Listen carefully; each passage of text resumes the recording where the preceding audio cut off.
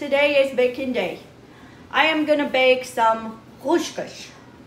Some other islands might call rushkilas. These roscas, my mom used to make it, and uh, I've made it many times. I used to make it when I had my store, and I used to sell it there. And ever since then, I haven't because I can't eat all that stuff, and I love that stuff. It doesn't have no sugar. This is a, not a sweet cookie or rashkila, but it's very easy and very simple. And I'm gonna show you today how I make my roscas.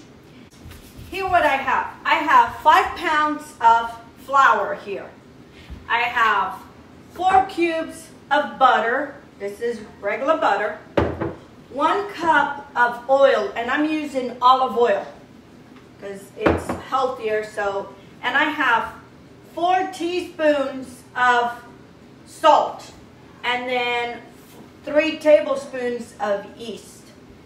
These, you need to have them, um, so what I'm gonna do is pour the yeast and the salt together. Uh, you need enough salt because there's nothing else in this. I'm gonna add my olive oil and I'm gonna add my butter. And this is what I'm going to need all this together is with just this. Now, depending on the weather, you might need to add some milk. I might have to add some milk, depending on the weather. But it's kind of a damp day today, so we'll see. And also depending on the flowers. This is not a very soft dough, but it is soft enough where you want to, um, to be able to roll it. Yeah, I might need some more flour, uh, uh, some milk.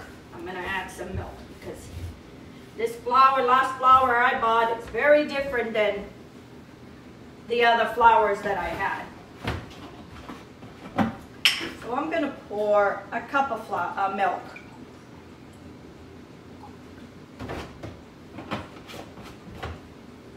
So I'm starting with a cup of milk. And it's cold milk. It Doesn't have to be hot or, and we're just gonna combine all this.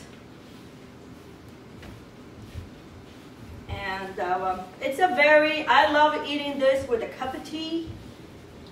It is so good, and especially because it's not sweet. Yeah, I have to add more. My mom, I remember my mom making a lot of this. Okay, I'm gonna add another half a cup.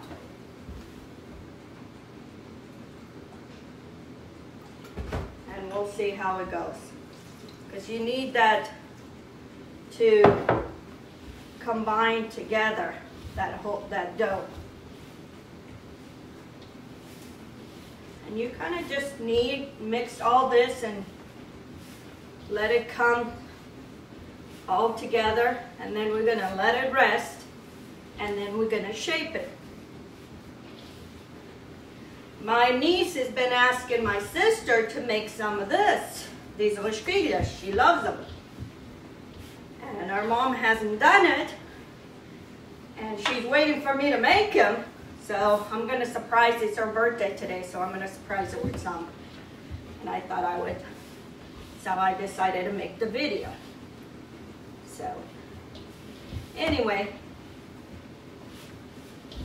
But um, I remember my mom used to make big containers of these. And sometimes that's all we would have in the morning, this with coffee. It was so good. So anyway, I'm gonna let this sit here because I'm gonna see if I'm gonna need more milk as that flour absorbs all that moisture. Here friends, I add more, I add two more cups of, uh, of milk. And I've been working this dough. And see, you want when that leaves the pan clean. See, it leaves the bowl all clean. That's when you know the dough um, is done. So, and you want it where it's soft, but not too soft where you can't roll it. So, anyway, I'm gonna let it sit here for maybe about 20 minutes. My skillish have rested. So now we're gonna start shaping them. And um, one way I remember my mom telling me is, you know, they're ready when they start making like little holes in here, um, because that means they've been rising it. So now I'm gonna shape it into a long log. And you don't want it too, too big, but you want at least maybe a couple inches like this to make um, the mashkilish. And this we're gonna make into a rope. And then if you cut it and let them rest over there, they uh, um, they puff up more and they become easier. What it is is that gluten has rusted, and now it can uh, um, it can roll without shaping it back. I mean, to, when you shape it, it doesn't pull it back. So all I do is I cut everything and you might have to, if the weather is dry, today is a little gloomy, so it, it will probably won't need it. Um, you uh, cover with uh, some damp towels so that it doesn't dry the dough. And that's what I'm gonna do. I'm gonna cut them all and then um, I'll roll them.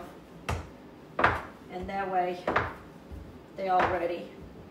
Um, this gets quite a bit. I mean, you know, dependent to the size you're gonna make. But I love making stuff like this because it brings me memories when we were all girls at home. My mom used to have the big wood oven she would have. She would put trays and trays of this. Because when she would make it, you'd make quite a bit If you go through all this trouble, especially if you have a big family, might as well make it quite a bit. Okay, friends, this is what you want. You want them to be this long length, and then all you're gonna do is you're gonna twist. And then you're gonna put one on the top, one on the bottom, and you're going to do this. Now that they rested, they're easier to roll. The gluten is a little bit more relaxed, so it's able, it's easier to stretch.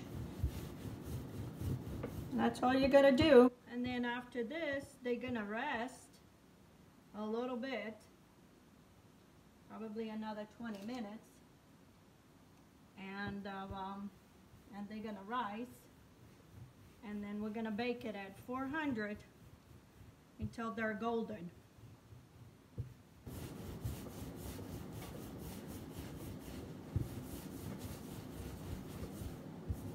And these can last long time in a Titan container in a cool place. You don't want to keep this in a hot place because it has a lot of the oil and the butter. If it, um, it can get ransom. So, anyway, I'm gonna start shaping all these and then when I'm ready, I'll come back and I'll show you.